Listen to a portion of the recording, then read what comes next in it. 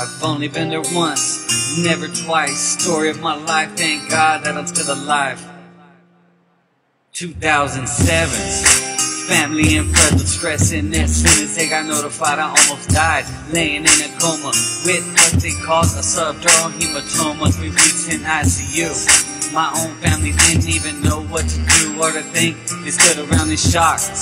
They couldn't even blink. So much drama, and it came with a bunch of drama.